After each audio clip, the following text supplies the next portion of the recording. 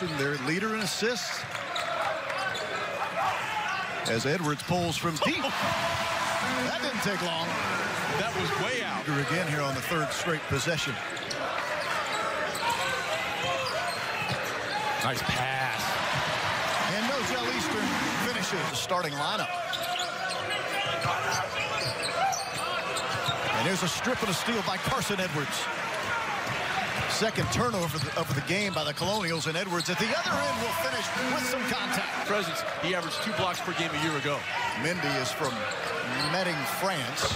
And a triple from deep. That's the senior Ryan Cline.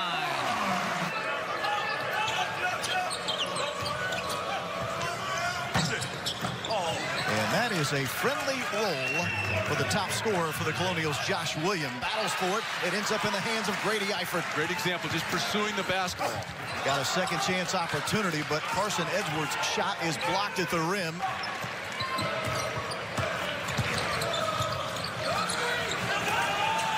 With a cross key pass to Eric Hunter, and the freshman buries a triple. Went strong to the rim, but is rejected. Trying to finish with a left-handed dunk, and Williams at the other end has his shot blocked, and Purdue retains possession. Ahead to Edwards. He'll finish at the rim. Oh, how about the pursuit? And Mendy misses long in a baseline jumper. As Nojel Eastern pushes in transition. That three misses by Stefanovic. Another offensive rebound for the Boilermakers. Matt Haarms, not once, but twice. And a foul. Williams with a great shot fake and nothing but the bottom of the net so far. Matty McConnell driving in the left-handed layup is good. A strong take by the senior McConnell. He's got four points. And for Josh Williams, Stefanovic clears the defensive rebound. From deep, Carsen Edwards, triple. Wow.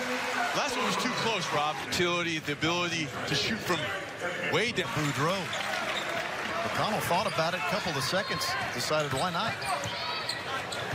Eric Hunter lets fly. He makes his second three of the game. Because you have to close out under control and jam him out there, if he's able to get by and draw the foul, he's going to make you pay. And a lot of guys don't have that part of their ball game. And it's the third foul on Yannis Mendy. Here's a lob on the inbound and finishing over the front of the rim is Matt Haarms.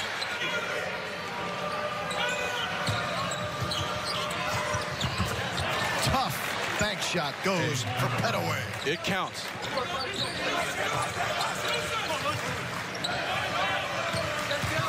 Eastern driving and finishing with a right hand.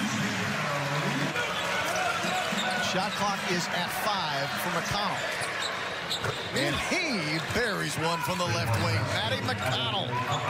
That's a point of emphasis this Yeah. year, that, that hooking by the offensive player especially. Ryan Cline off of the inbound with a three-point bucket. Cline will rise and fire and rip the nets from distance. Yeah, I think that ball hit the It rim. Certainly looked like it from our vantage point. And Boudreaux with a cut to the basket, and he'll have a chance at a three-point opportunity. On the long Karam. And McConnell with a nice feed dump down, but partially blocked by Aaron Wheeler. And here's the long arms of Aaron Wheeler. And that, that can be an unfortunate byproduct of when you do shoot as many threes as you do. Speaking of threes, Carsen Edwards, number three, with another three. Like from one season to the next. Carsen Edwards dribbling through some traffic somehow came out of that smelling like a rose Yeah. as he dumps down the assist to Grady Eifert. First scoring of the game for Eifert. 70 points already for Purdue, and we still have seven minutes Nice. to go in the game. A beautiful pass and a layup. Well done there by the Colonials.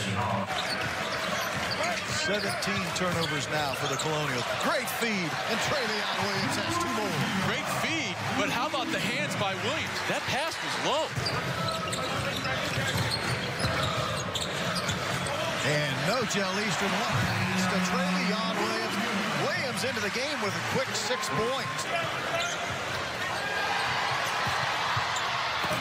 Instead, he'll lob for Trevion, and a poor pass becomes Purdue's 13th turnover.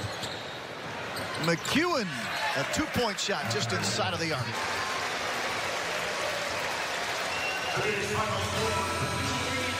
54-46. That is the final.